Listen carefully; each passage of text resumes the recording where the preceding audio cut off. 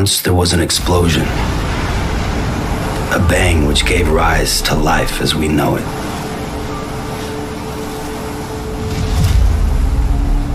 Then came the next explosion.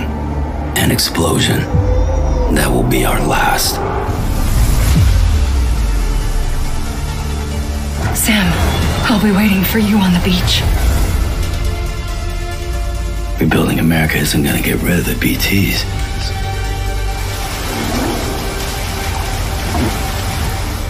But at least we'll have hope. I'm a porter. I don't care about connecting anything. You see, I've come to understand the truth of the Death Stranding.